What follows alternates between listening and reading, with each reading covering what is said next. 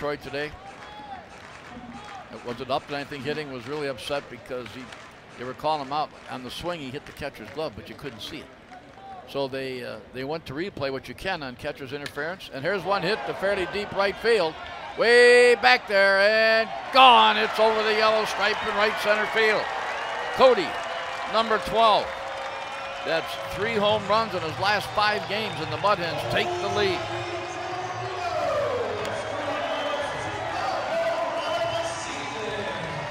Mud Hens strike first.